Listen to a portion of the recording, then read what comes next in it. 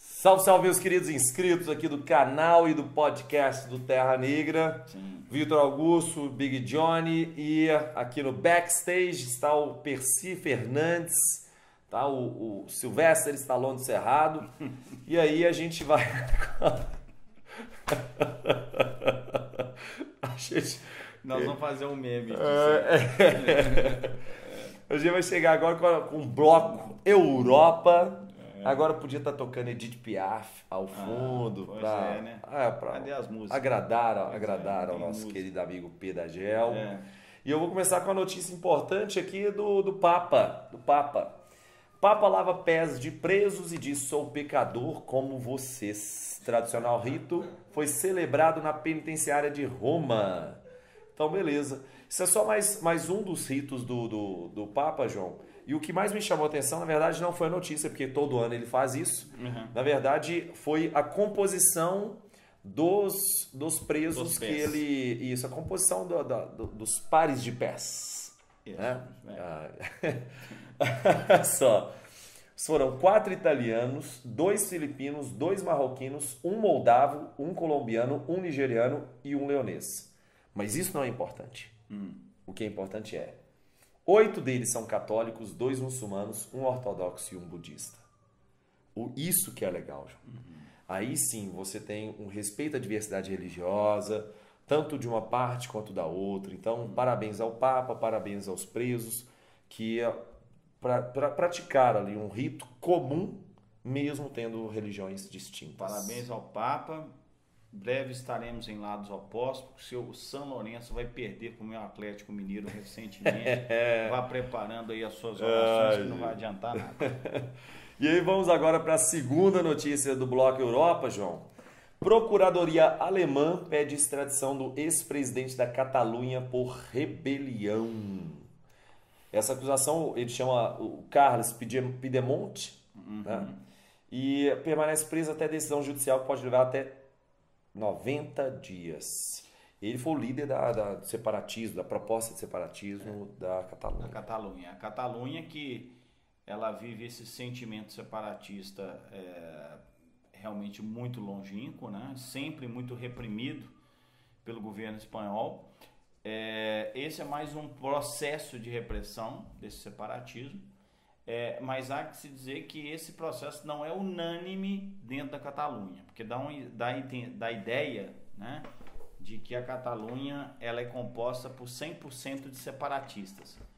E isso não é unanimidade, por isso mesmo, não sendo unanimidade, é difícil de efetivamente acontecer. E uma das principais pressões para que esse separatismo não aconteça vem da União Europeia. É, e não é à toa que eu tenho uma, procura- uma procuradoria alemã que está pedindo efetivamente a extradição do presidente por rebelião, né, por, pelo fato de que a Alemanha é a grande mantenedora da União Europeia nesse momento. E uma das regras mais eh, interessantes e fundamentais da União Europeia é que, para um país membro continuar membro, ele tem que manter as suas instituições estáveis. Ou seja, não há admissão de processos separatistas dentro da União Europeia. Tanto é que eh, a Irlanda teve que resolver o, o problema do IRA, né? É, houve um esforço gigantesco da Espanha para ela ingressar na União Europeia, resolvendo a questão básica, questão principalmente no controle do ETA, e a Catalunha ela fere, o separatismo catalão fere esse princípio. Então a Alemanha tem mãos de ferro nesse controle aí dos processos separatistas né, da União Europeia. Até porque se a Alemanha, se França, se Bélgica começam a apoiar, a, Alema- a Alemanha vai, vai apoiar a Bavária também? A França vai apoiar os bascos também? Pois é, aí a é Bélgica vai questão- apoiar os Flandres também? Então não faz muito sentido que a União Europeia apoie a Catalunha, né? É, É complicado. O buraco é sempre muito mais embaixo, ah, meu caro. E aí, podemos pular para o outro bloco? podemos. Bloco agora, bloco agora sobre o Oriente Médio, João. Traga umas odaliscas, por favor. Agora, gente, Oriente Médio sempre merece destaque. E essa semana o Oriente Médio tá um caldeirão, caldeirão. Primeira notícia, João, é a notícia do príncipe herdeiro saudita classifica líder do Irã como novo Hitler em entrevista ao New York Times. Ai, ai, Como eu disse, a notícia. é, eu selecionei essa notícia da Reuters, então a chance de ser a fake news é muito pequena. Hum. E eu coloco o seguinte: o príncipe herdeiro da Arábia Saudita, o Mohammed bin Salman. Classificou o líder supremo do Irã, que é o Ayatollah Khamenei. O, o Ayatollah Khomeini morreu no ano de 89, é, né? Gente que continua falando Khomeini. Khomeini é, e foi substituído pelo Khamenei Há um tempo atrás eu tinha ficado sabendo que ele não estava bem de saúde também, não, mas deve ter recuperado, né? É, agora o momento Nelson Rubens aqui, né? O momento de bafão sobre a geopolítica internacional. Agora vamos voltar aqui. Sim. Olha aqui, ó. É, o novo Hitler do Oriente Médio.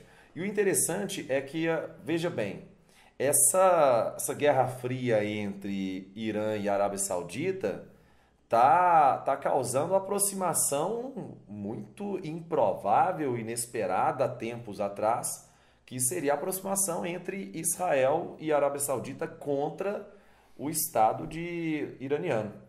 Então é bem interessante você parar para pensar que uma monarquia absolutista absurda para o século XXI, que é a monarquia absolutista saudita, saudita ela tem moral suficiente para falar alguma coisa sobre um outro país.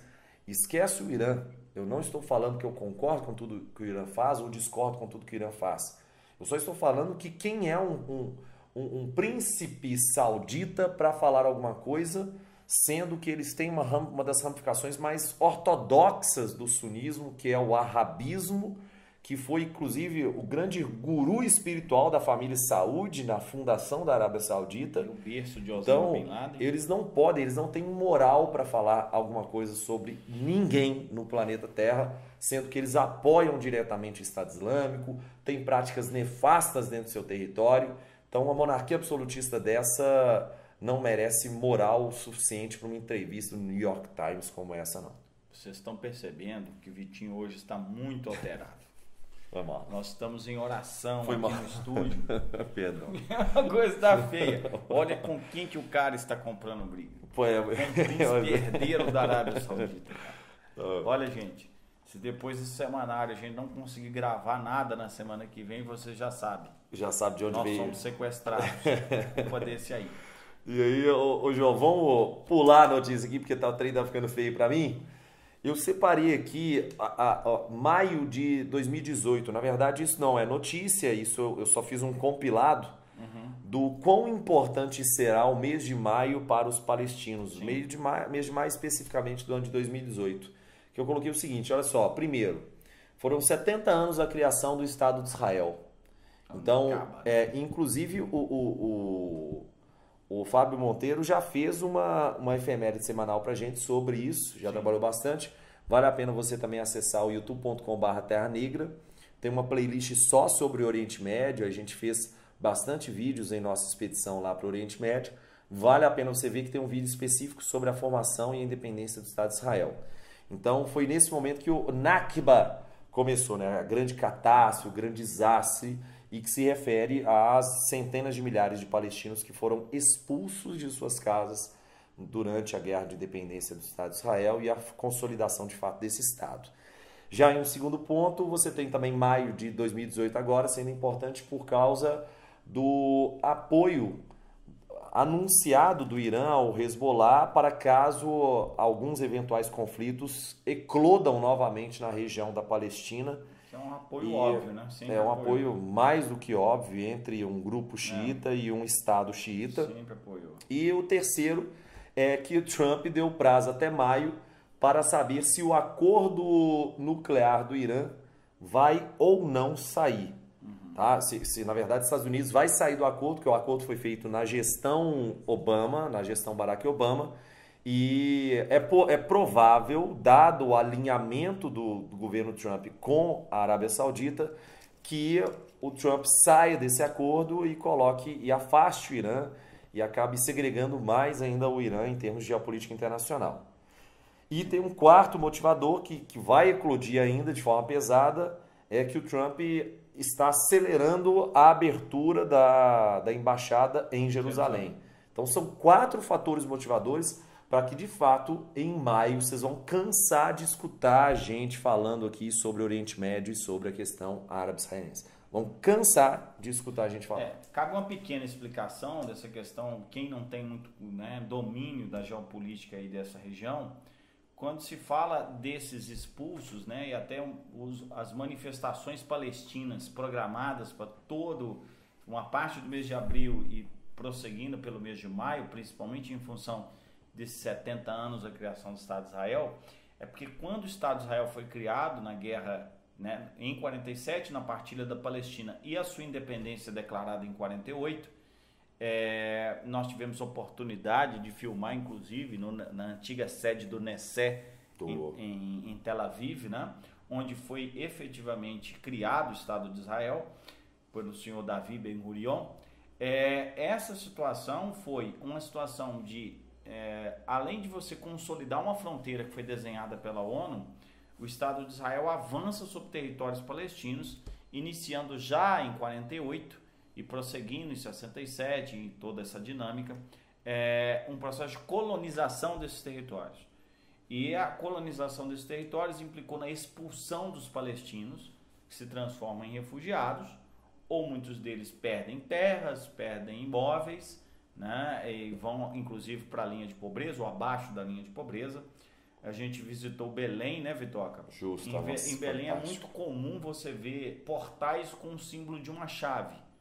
Essa chave é, é exatamente um símbolo de retorno, retorno para casa, porque calcula-se que nós temos aí em torno de quase 4 milhões de palestinos refugiados na Jordânia, no Egito, no Líbano, na Síria, e nos países vizinhos, que têm a esperança de retornarem para as suas casas, para os seus lares na Cisjordânia ou na faixa de Gaza. É, lembrando, é só que tem um, um parênteses para fazer que é muito legal. Hum. Nunca se esquecer de fato, porque o, o, refugiado ele tem uma expectativa de retorno conceitual, né? Conceitual. Se você é um refugiado, você tem expectativa de retorno. É diferente do migrante por motivadores econômicos e para ascensão, do, ascensão da sua condição Sim. socioeconômica. Isso é bem legal você ter citado mesmo, João. É, e eu, eu acredito que aí puxando já essa notícia, é, quando você teve o ataque né, da, a, de Israel, o ataque de Israel a essa manifestação, que é uma manifestação chamada manifestação do retorno. Inclusive, Vitoca, eu sinceramente, quando vi aquelas cenas, porque é, é muito comum você ver essas manifestações numa faixa de exclusão militar que existe próxima à fronteira com a faixa de Gaza, então, entre Israel e faixa de Gaza. Então tem uma região que não é muito grande, mas uma zona de exclusão militar que nós do Terra Negra nós filmamos nessa região. Justamente. Nós o vídeo, o vídeo tá para sair daqui a umas poucas semanas. O vídeo e da faixa de gás. Foi impressionante que dá para você reconhecer o lugar. Não sei se você reconheceu. Dá, dá para reconhecer perfeitamente. E quando a gente filmou na faixa de Gaza, inclusive a gente tinha exercícios militares de Israel. Nossa, escutando. A gente escutava rajada de metralhadora, tanque passando por um lado, artilharia passando do outro, quer dizer. E a gente ficou, ó. que, começou, começou a vir um tanque de guerra do exército Israel pra cima da gente. Toca só colocou a camisa da seleção brasileira. Eu falei, é, eu, eu andava com a camisa é. da seleção o tempo todo, é. que eu falava assim, olha, isso aqui é um, isso aqui é um passaporte, isso aqui é, pelo menos é, um, é o início da conversa. É, você acha que foi é, fácil, né? Porque é punk, é. assim, eu ficava com a camisa da seleção brasileira preparada. É. E aí, quando chegava perto, eu já mostrava a camisa da seleção de alguma forma. E aí a, a, conversa começava de uma outra, de, com, com uma outra delicadeza. É, com outro é, nível, né? Mas é, tivemos lá nessa, Justamente. Então, daqui a pouquíssimas semanas, esse vídeo já vai estar disponível sobre a faixa de Gaza. Essa notícia que o João colocou, a notícia é do seguinte: ONU tem tensão em Gaza e pede investigação independente sobre mortes. A gente separou três notícias que estão na descrição aqui desse vídeo e são notícias muito importantes, porque nessa última manifestação, como o João disse, na marcha de retorno, essa, essa manifestação teve 16 mortes e vários feridos. Foram duas mil pessoas que ficaram feridas em um ataque que, de acordo com, com todos os presentes, foi um ataque dos próprios militares israelenses. E isso acaba gerando um temor muito grande que há pouco, pouquíssimos anos atrás nós tivemos uma, um conflito barra massacre barra problema na faixa de Gaza que levou e muito, elevou e muito o número de mortes. Como uma notícia vai linkando a outra, eu já vou linkando a segunda notícia aqui, olha. Erdogan chama Netanyahu de terrorista e Israel de Estado terrorista. Então vamos traduzir essa notícia, que é a notícia da Al Jazeera. Olha que interessante. O Erdogan, ou Erdogan, que é o grande chefe de Estado da Turquia, chama o Netanyahu de Israel de terrorista. E além disso, chama o Estado israelense de terrorista. Ele fala que em uma, uma conversa com, com. Ele chama, na verdade, o primeiro-ministro de Israel de um ocupante. Ele está ocupando um território que não é dele, praticando atentados terroristas. Essa é a fala do Erdogan. Ele fala assim: ah, você também é um terrorista. E, aqui, ó, nós, nós não somos culpados por nenhum dos, dos atos de ocupação recentes. Ou seja, a história vai, a história vai lembrar que você é um opressor, de acordo com a fala dele, para o Netanyahu. A história vai lembrar que você é um opressor dos palestinos, porque você e o Estado de Israel são, são terroristas. É, é uma fala muito pesada de um chefe de Estado para o outro chefe de Estado. É, e olha que o Erdogan, que é hoje uma liderança clara do mundo muçulmano, né? O Erdogan é turco. É. E os turcos normalmente não têm muita afinidade com os árabes. É uma é... rivalidade histórica profunda. Mas quando se fala de Israel, né, quando Israel está no meio, as rivalidades entre árabes, elas parecem que são dissolvidas em muitos casos, e entre árabes e turcos, ou seja, Israel coleciona desafetos dentro do Oriente Médio é, por todos os lados. Né?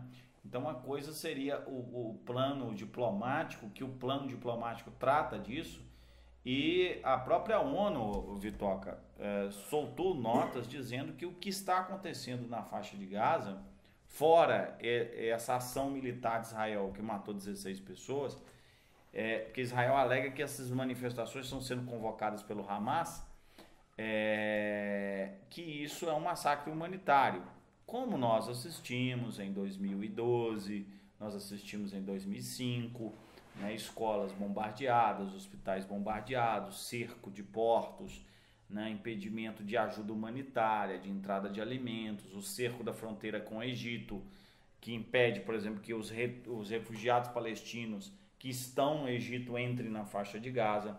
A faixa de Gaza é um, um dos mais sérios bolsões de pobreza, de miséria do Oriente Médio. Então, essa miséria social dos palestinos da faixa de Gaza, ela quase que é uma retroalimentação do terrorismo. Se realmente eh, Israel quisesse acabar com o terrorismo na faixa de Gaza, uma das primeiras providências era, de certa forma, diminuir o nível de pobreza de Gaza, né? Justamente, então, perfeito. É, eu, eu, sinceramente, aí é uma questão de posicionamento.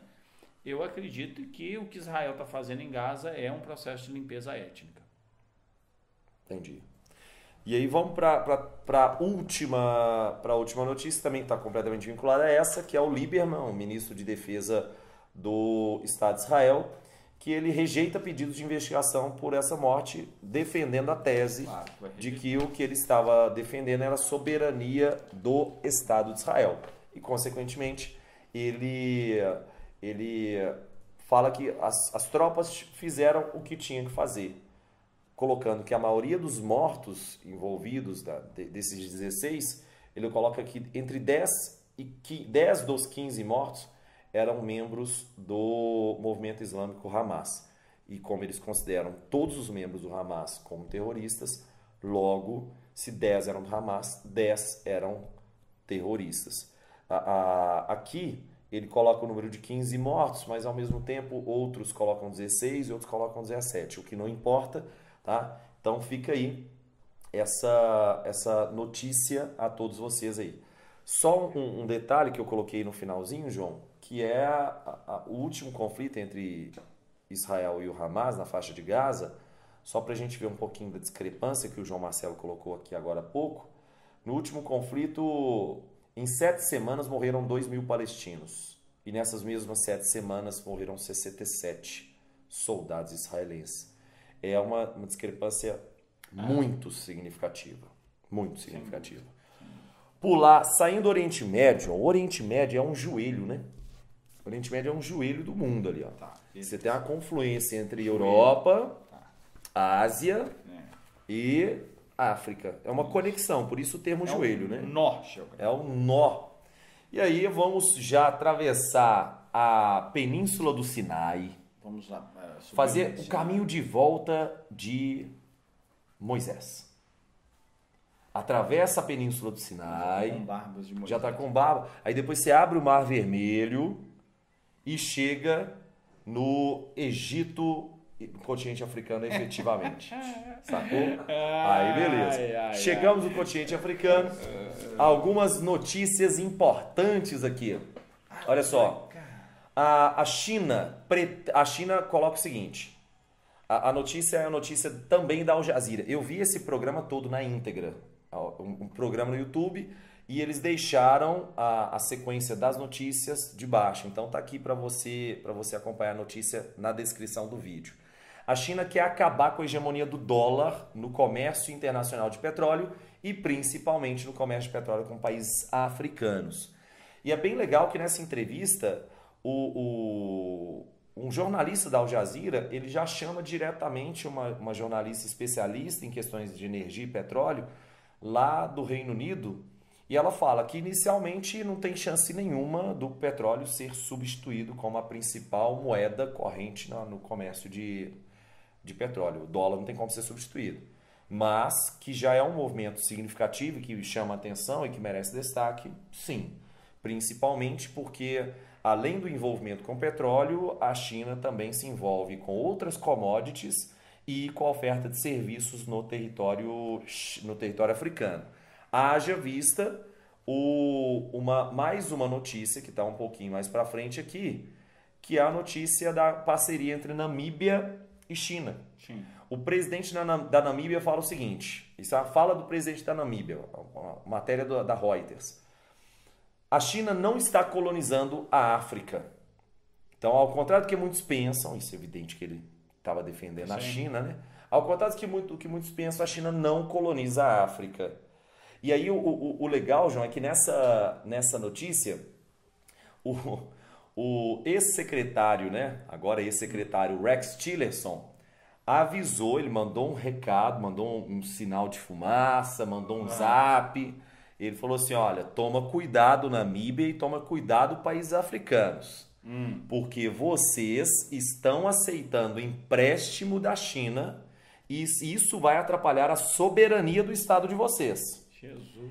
O que eu acho mais curioso, eu falei muito mineiro agora, você viu? Reparou? O que eu acho mais curioso, nossa, pai amado. Nossa senhora. Olha só, o que eu acho mais curioso é que um secretário de Estado, que é o Rex Tillerson, ex-secretário de Estado, ele aponta o dedo para a China e fala que a China está atrapalhando a soberania de países lá no continente africano, mas esquece que ele cansou de emprestar dinheiro para os países africanos a partir do FMI, para os países latino-americanos a partir do FMI. Os famosos isso, programas Pois é. do consenso de Washington. e isso não atrapalha a soberania desses países, mas a China atrapalha. Beleza, então, dois pesos e duas medidas e nada que não fosse esperado por nós.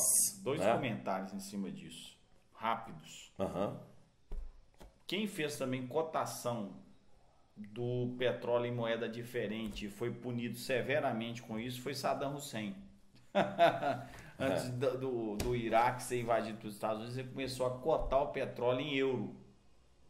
Então, é, essas mudanças de cotação de moeda, elas mexem com o mercado energético e, e com soberania energética, o que é um negócio realmente vital. É. E uma outra questão é essa, esse aumento da projeção da China no continente africano, porque a China, sendo a economia que mais cresce, é a economia, a economia que mais requisita recursos naturais, e quando ela requisita recursos naturais, a África é hoje a maior fronteira de recursos do planeta Terra.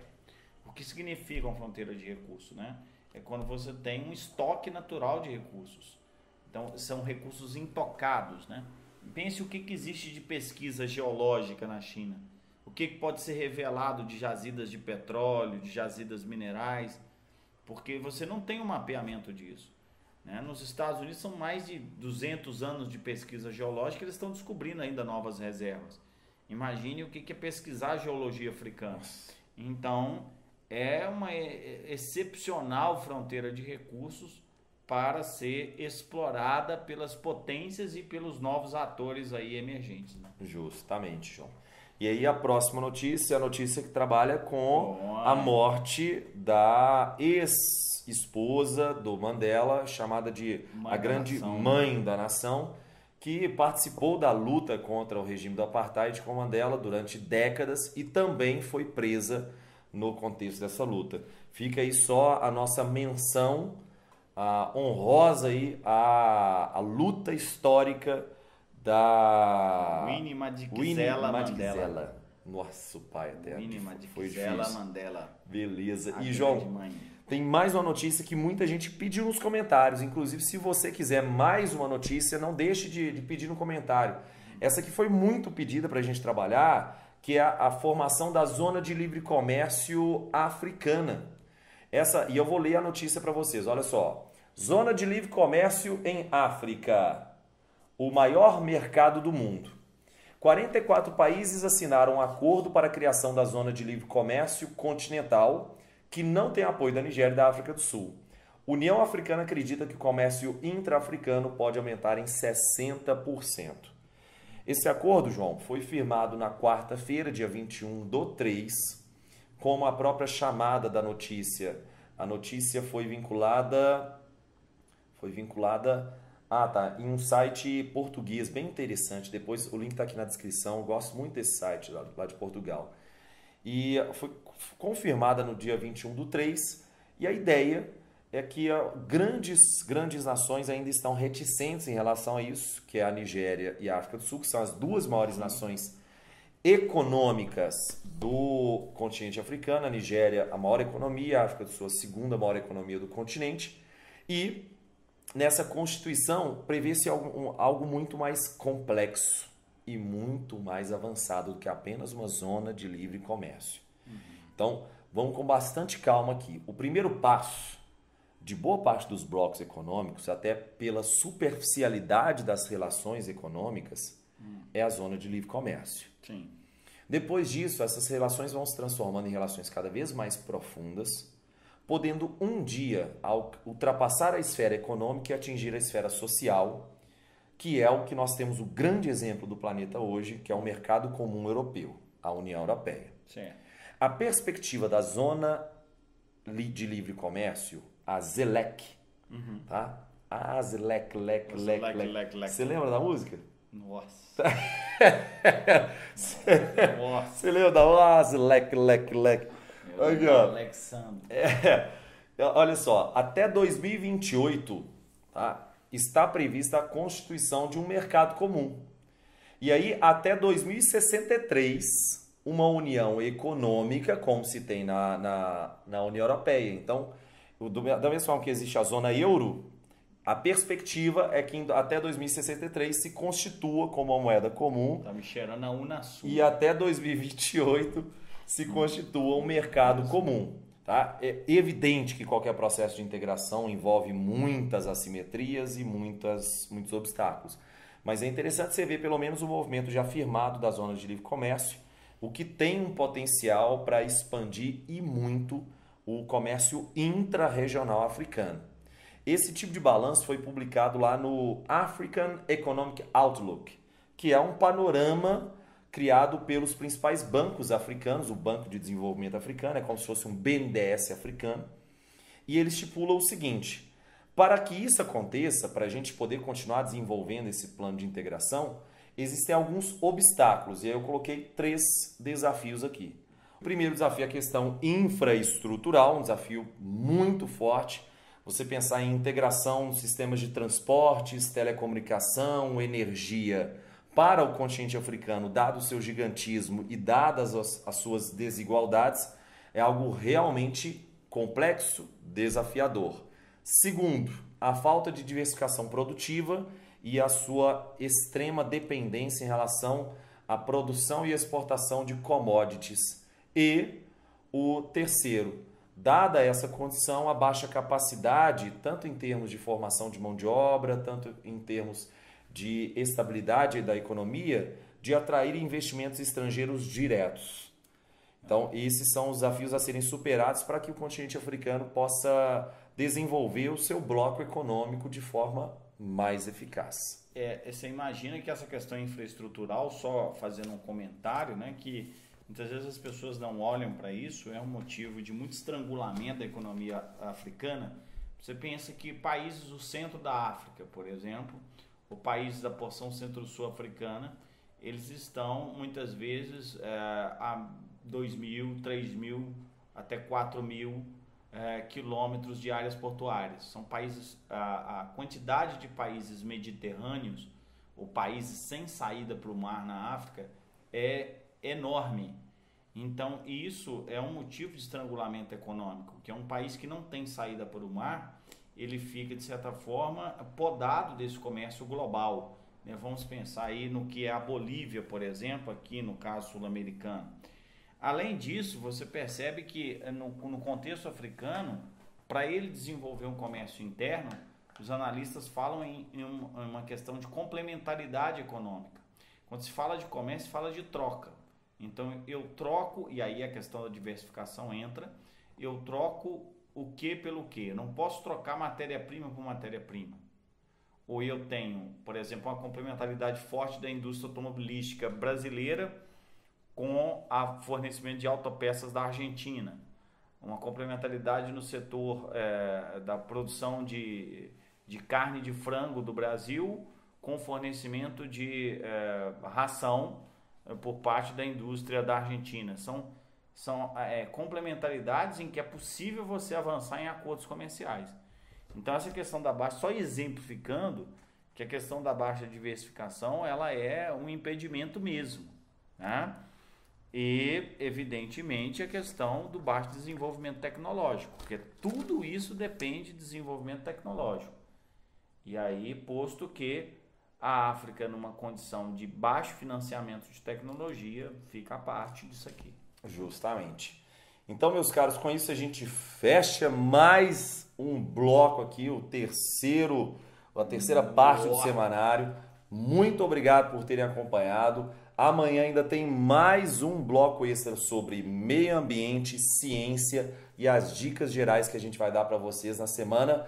Um grande abraço, muito obrigado por ter acompanhado. Tchau, tchau. Isso é a participação do senhor Percy. Ah, ah é, é. Até amanhã, hein? É.